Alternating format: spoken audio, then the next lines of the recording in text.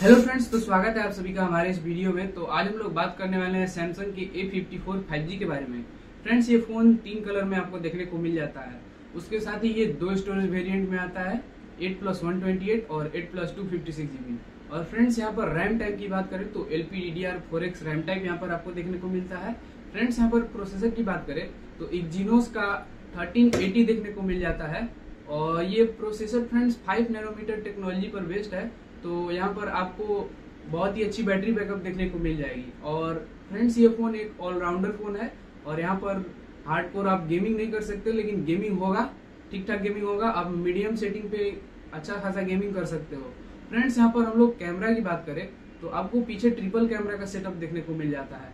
जो main camera है, वो 50 मेगापिक्सल का है विथ ओ और जो दूसरा कैमरा है, वो 12 मेगापिक्सल का है और जो तीसरा कैमरा है वो 5 मेगापिक्सल का है माइक्रो शॉट के लिए।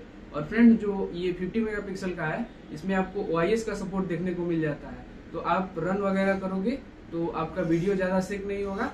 और फ्रेंड्स ये फ़ोन रियर कैमरा से 50 मेगापिक्सल वाले से ये 4K 30 एपीएस में वीडियो निकाल सकता है। और फ्रेंड्स फ्रंट कैमरा की बात करें तो यहाँ पर आपको 32 मेगापिक्सल का कैमरा देखने को मिल जाता है। फ्रेंड डिस्प्ले की बात करें तो 6.4 इंच का full H D plus AMOLED display देखने को मिल जाता है, जो कि 120 ट्वेंटी फास्ट रिफ्रेश रेट को सपोर्ट करता है।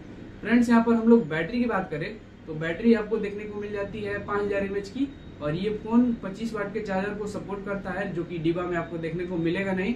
डिब्बा में आपको देखने को बस एक ही चीज़ देखने को मिलेगा, वो केबल और सिम इजेक्टर पिन और ये फ़ोन देखने को मिलेगा।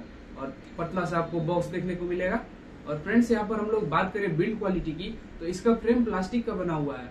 और फ्रेंड्स यहाँ पर इसके पीछे जो ग्लास का यूज़ किया गया है, और आगे भी ग्लास का प्रयोग किया गया है। फ्रेंड्स ये आगे पीछे जो दोनों ग्लास है, वो गोरिल्ला ग्लास फाइव पे आता है। तो फ्रेंड्स अगर हम लोग बिल्ड क्वालिटी की बात करें तो आगे और पीछे दोनों तरफ़ आपको ग्लास बिल्ड देखने को मिल जाएगा, जो कि गोरिल्ला ग्लास फाइव है। और फ्रेंड्स यहाँ पर आपको फ्रेम प्लास्टिक का देखने को मिल जाता है। फ्रेंड्स यहाँ पर हम लोग कनेक्टिविटी की बात करें तो यहाँ पर आपको 5G इंडिया में बहुत ही अच्छे से कन, मतलब कनेक्ट हो जाएगा क्योंकि यहाँ पर इंडिया में आने वाले सभी बैंड इसमें सपोर्टेड है। और फ्रेंड्स यहाँ पर वाईफाई सिक्स के साथ आता है।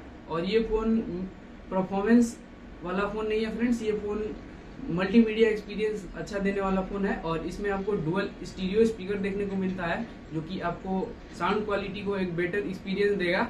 और फ्रेंड्स यहाँ पर हम लोग ब्लूटूथ की बात करें तो 5.2 का ब्लूटूथ देखने को मिल जाता है जो कि एक बहुत ही अच्छी बात है। फ्रेंड्स यहाँ पर हम लोग इसके यूआई की बात करें तो ये एंड्रॉइड 13 पे आता है और out of the box Android 13 देखने को मिलता है और यहाँ पर आपको चार साल तक का एंड्रॉइड अपडेट देखने को मिल जाता है जो कि 14, 15, 16, 17 तक आपको देखने को मिल जाएगा और उसके साथ ही आपको पाँच साल का सिक्योरिटी अपडेट भी देखने को मिलेगा। और फ्रेंड्स ये फ़ोन बहुत ही तगड़ा है मतलब मीडियम मिड रेंज में। और यहाँ पर आपको इन इन डिस्प्ले फिंगरप्रिंट देखने को मिल जाएगा। और फ्रेंड्स ये फ़ोन उसके साथ ही आईपी रेटिंग के साथ भी आता है। आईपी सिक्सटी सेवन आपको वाटर रेजिस्टेंस का रेटिंग देखने को मिलता है। आप 30 मिनट तक पानी के अंदर रख सकते हो इसको। फ्रेंड्स अगर आपको हमारा वीडियो अच्छा लगा हो तो प्लीज़ चैनल को सब्सक्राइब कर लीजिए और वीडियो को लाइक कर लीजिए।